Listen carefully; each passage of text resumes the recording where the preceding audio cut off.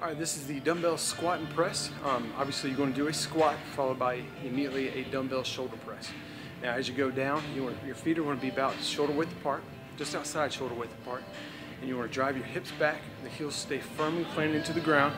Make sure you stay nice and tall as you go down, a neutral arch in the back. And then at the end of the rep, you're going to do a dumbbell shoulder press with the dumbbells facing each other. So it looks like this.